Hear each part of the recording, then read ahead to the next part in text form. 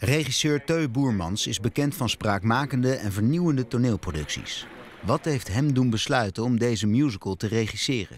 Ik kan me dat voorstellen dat mensen denken van... mijn god, moet dat opnieuw gebeuren? Want dat dacht ik zelf ook op dat moment. Daarom heb ik ook even over gedaan voordat ik dat zou doen. Uh, en ook pas nadat ik het boek opnieuw had gelezen... en me daar iets in trof waar ik, uh, waar ik aan kon aanhaken. Wat, wat me zelf aangreep. En toen de mogelijkheden er waren om dat te doen... op de manier waarop ik het nu gedaan heb... toen werd ik er steeds meer ingezogen en, en, en daagde het me steeds meer uit... en wilde ik het ook voor elkaar krijgen. Aanstaande zondagmiddag om 5 voor 2 op SBS 6. De making-of van Soldaat van Oranje de Musical.